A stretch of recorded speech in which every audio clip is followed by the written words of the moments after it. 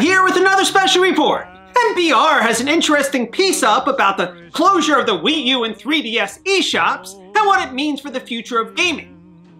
I'm not sure I agree with all of it, but it's definitely thought-provoking. The Wii U and 3DS eShops closed for good on March 27th, and with them went total access to certain titles that only received a digital release, or a very limited physical release. That part is indisputable. Games developers claim the digital push is to save on overhead and reduce piracy, but in reality, it's about maintaining full control.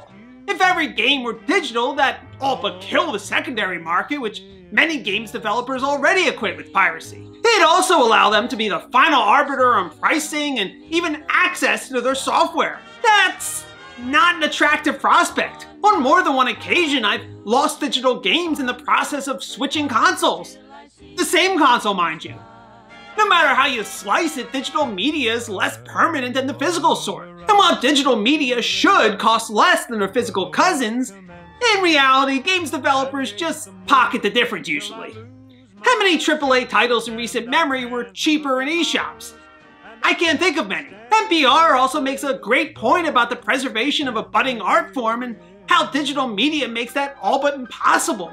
Without a physical copy and with eShops shuttered, the only alternative is emulators, and in most cases those are illegal or otherwise frowned upon. The accompanying ROMs are definitely illegal, making it extremely difficult to preserve something that for all intents and purposes doesn't exist anymore. As to why the Wii U and 3DS eShops are closing, Nintendo said the following. This is part of the natural life cycle for any product line as it becomes less used by consumers over time.